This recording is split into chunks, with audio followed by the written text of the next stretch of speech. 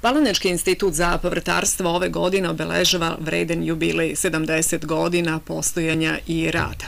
Kroz ovu naučno-istraživačku kuću u našem gradu za ovih 70 godina prošao je veliki broj istraživača, stvoren je veliki broj sorti hibrida i hibrida povrća.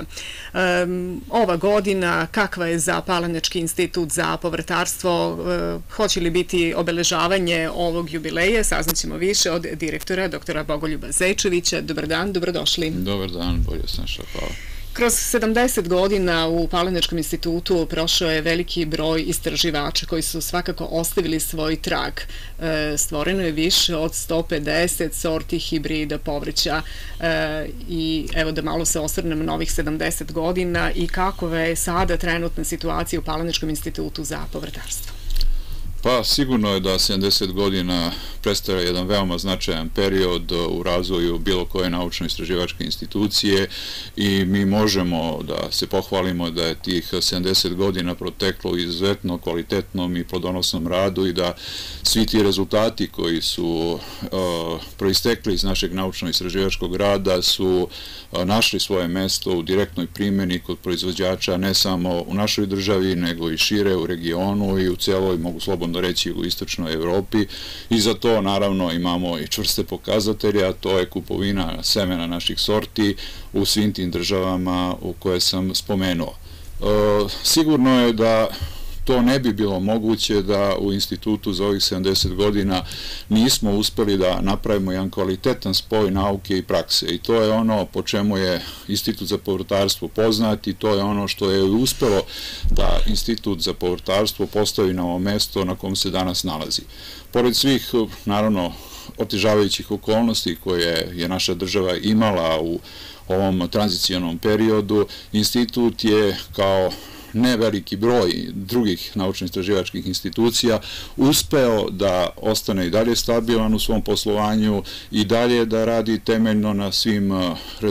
zadacima u okviru naučno-istraživačkog rada i da naravno svi ti rezultati, kao što sam i rekao, imaju direktnu primjenu. I to je ono, uzimajući u obzir da sama država koja je naš osnivač i vlasnik eh, je u situaciji koja jeste u smislu eh, pomoći i eh, tih nekih intervencija koje su nekada bile prisutne i gde smo mi značajna sredstva dobijali i od države, to sada više nije slučaj. To svi smo svedoci vremena u kom živimo i znamo da to nije tako, tako da e,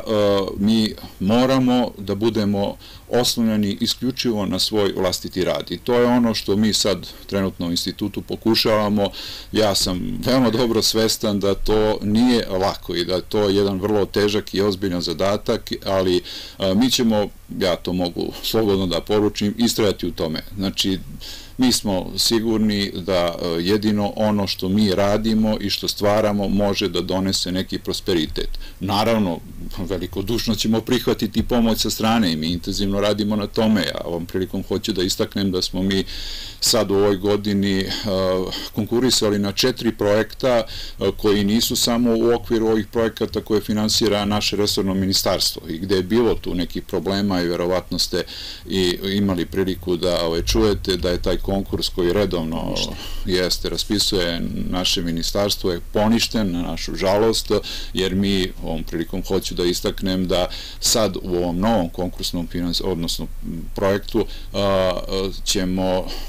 konkurisati sa većim brojem istraživača, što će naravno nama doneti i veće prihode. U protekle dve godine mi smo ojačani, tako da kažem, sa evo, u julu će biti pet novih doktora nauka ukupno, što naravno ovaj, svi oni ispunjavaju uslove ili će ispuniti uslove da budu na projektima i onda samim tim ćemo povlačiti više sredstava. Kažem, to sad u nekom ukupnom prihodu instituta predstavlja neki 10%. Znači, 90% jeste prihoda koje mi stičemo na tržištu i to je ono što ja kažem. Znači, to je ono što čini osnov priče koja se priča u institutu i to je osnov nekog našeg poslovanja i uh, isključivo, kaže, mora da budemo i bit ćemo okrenuti ka tome. Malo pre sam se dotakao i tih novih mogućnosti finansiranja, što naravno uvek treba iskoristiti, pogotovo sad sa povezivanjem države sa Evropskom unijom, da se otvaraju novi fondovi mi smo upravo to iskoristili sa kolegama iz jednog instituta iz Temišvara, smo ušli u saradnju i konkurisali smo za jedna značajna sredstva i nadamo se da će to u nekom u nekoj bliskoj budućnosti biti realizovano, da ćemo moći e, i tu da na jedan način unapredimo naše istraživanja, jer nisu to beznačajna sredstva, a i to povezivanje nam otvara posle i druge mogućnosti da bi mogli na drugim ovaj projektima da konkurišemo i smatramo da je to jedan od načina koji mora biti sad prisutan u našem radu, što ranije nije bio toliko slučaj. Ipak su ta neka sredstva sa strane, da tako kažem, bila ograničena i dolazilo su u mnogo manjim obimu. I to je praktično nešto što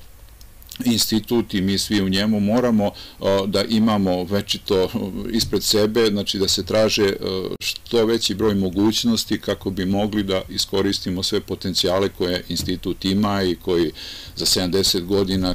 su tog rada kvalitetnog su zaista stvoreni na jednoj kvalitetnoj osnovi, ali naravno, sami znate, nauka je takva da ne trpi stanje status quo, nego moramo non stop da idemo dalje i da se usavršavamo i da tražimo mogućnosti i da novu opremu uspemo da nabavimo, a to upravo ti projekti omogućavaju. Tako da to je jedan uh,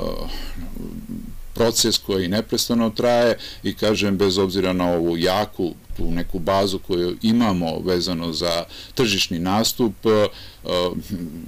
moram je ovog puta da istaknem da uh, tržište koje, na, koje, na kom se mi nalazimo je praktično u ovom trenutku uglavnom e, od te neke privatne inicijative i privatnog vlasništva e, jedini smo mi koji, eto, da kažem, zauzimamo značajno mjesto pored e, instituta u Novom Sadu koji smo tu. Prema tome, e,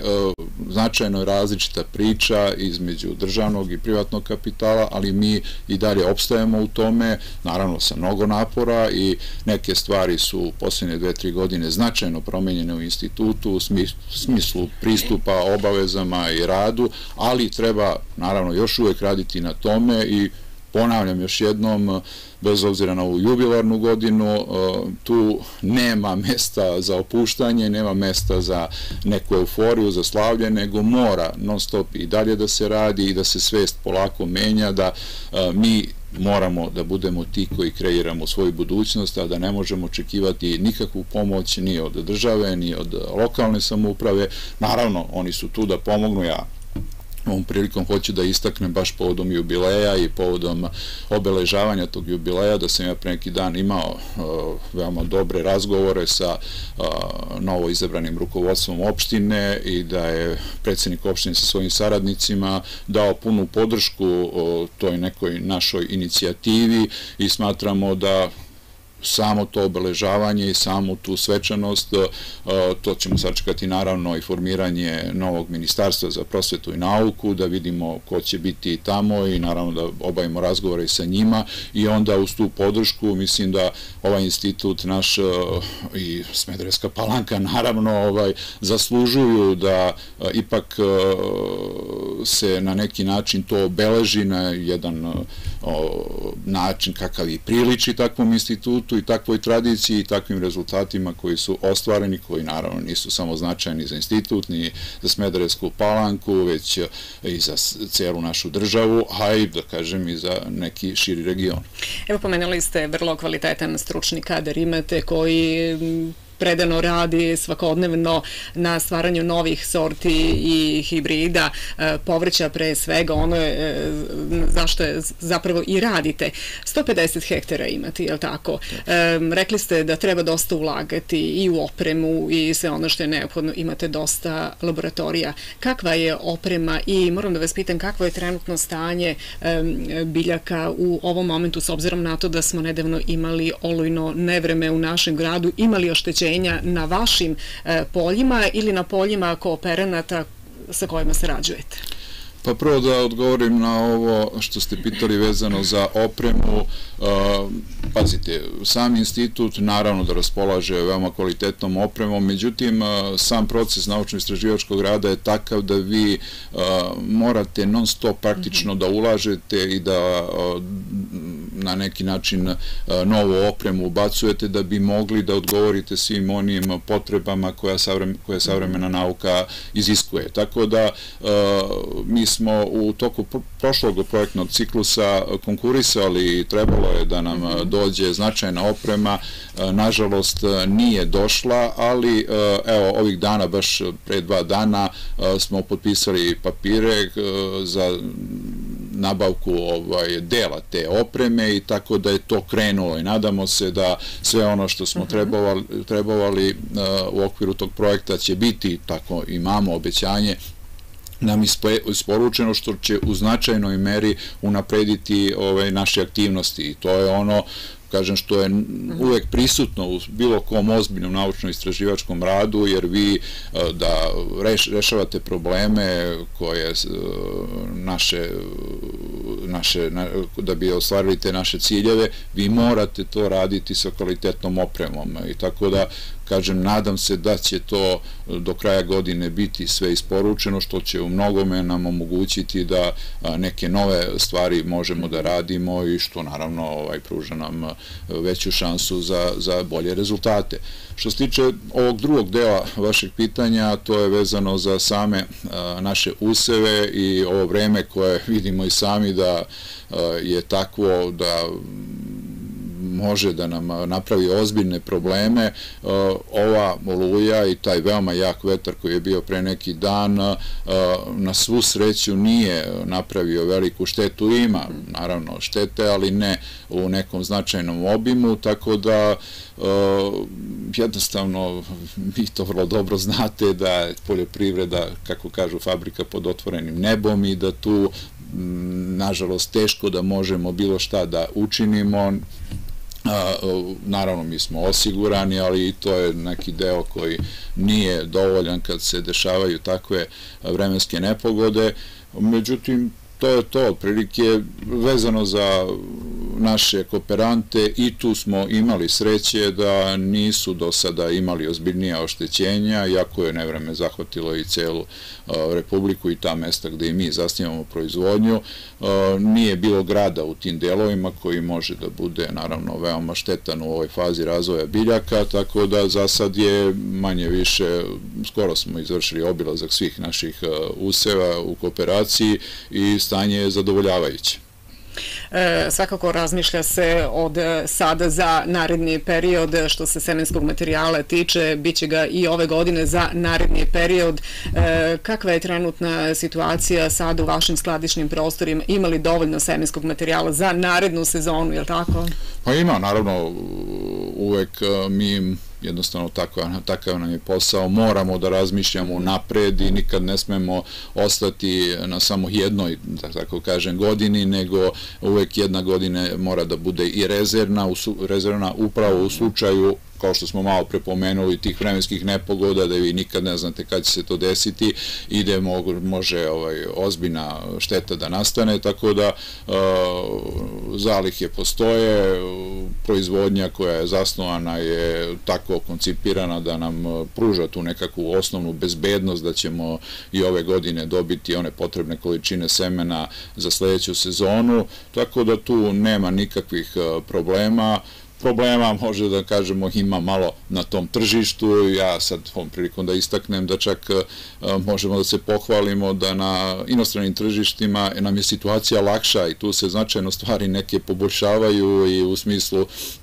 veće potražnje za našim semenom i otvaranjem novih tržišta, tako da je tu čistije sad ovde, kod nas na našem tržištu ima veliki broj proizvođača, veliki broj ponuđača, i treba se zboriti sa njima. I pogotovo što to ovaj, na neki način uh, i nije, ajde da kažem, na najbolji način iskontrolisano u smislu da Eh, pojedini se bave i uvozom nekih semena koje, mm, ajde, možemo reći diskutabilno, oni jesu naravno u okviru zakonskih granica, sve to naravno je legalno, međutim kvalitet samog tog materijala u odnosu na ono što mi radimo je daleko, daleko niži, a to se i vidi po cenama. Znate, da proizvedete kvalitetno seme, vi mora da imate i nekakvu cenu da bi došli do toga. Ako vi imate eh, nisku cenu, što je bilo u toku prošle sezone, baš, baš niskih cena, koje ne opravdavaju ni proizvodnju samog tog semena, a kamoli sve one troškove koji nastaju prilikom distribucije, prilikom prodaje, a jednostavno se formira tako. Tako da tu su neki problemi koji su prisutni, ali šta je to? Tržište tako i moramo da se borimo, pa nadam se da ćemo A da biste imali e, dobro tržište, svakako je važno i učešće na brojnim e, sajmovima. Nedavno ste bili na Međunarodnom sajmu hortikulture. E, verujem da je uspostavljeni su i novi kontakti. Jesu, jesu. To je sajam, naravno, onako ne kao poljoprivredni u Novom Sadu, ali iz godine u godinu je sve to značajnija manifestacija i sve veći broj ljudi je prisutan tu i jedno malo zapažanje ću ovom prilikom izneti, sve veće interesovanje za organskim semenom. Ja mhm. ovom prilikom hoću da istaknem da naravno institut se bavi i tim načinom proizvodnje semena i da u svom programu i u ponudi ima i organsko seme, odnosno proizvodeno na taj način i da naravno u sve sertifikacije koje su neophodne i da mi sve više i više izlazimo na tržište s tim, interesovanje, kažem i na tom mhm. sajmu i uopšte sve veće, s tim što moram da istaknem potražnja nije baš u skladu sa interesovanjem, verovatno je to uslovljeno i cenom, jer organsko seme mora biti... I drugačije je proizvodnju, odnosno komercijalno. drugačije, značajno drugačije, mnogo je skuplja proizvodnja i samim tim seme mora da bude skuplje, a sad sama ekonomska mogućnost našeg proizvođača znamo kakva je i onda tu ima malo, da kažem, nesrazmere između interesovanja i potražnje, ali smatramo da je to nešto što u čemu institut i vidi neku svoju i dalju budućnost i širenje i radit ćemo mi na tome bez obira što nema neke velike ekonomske dobiti, a mislim i da naravno mi kao državna institucija, kao neko ko vodi i mora da vodi računa i o nekom opštem interesu, a ne samo o komercijalnom, radit ćemo na tome i sigurno ovaj, ćemo obezbeđivati one količine koje budu bile potrebne za naše tržište. Na tržištu Srbije, ali i u zemljama gde vas ima, svakako su najtraženije sorte e, paprike i hibridi paradajza. Ima li nešto novo što se planira u nekoj budućnosti, što možda tržište van naše zemlje traži, a da vi to možete da uradite i da pripremite? Pa evo, baš ću povodom tog vašeg pitanja da, da, da, da ovaj, istaknem da smo mi krajem maja imali intenzivne pregovore sa jednom ruskom semenskom mhm. kompanijom koja je bila veoma zainteresovana za pasulje i za neke mhm. tipove pasulja koje mi ne radimo, ali koje su interesantni za njihovo tržište. Pošto sami znate kakva je politička situacija sa Rusijom i sa Evropskom unijom, tu je došlo do nemogućnosti da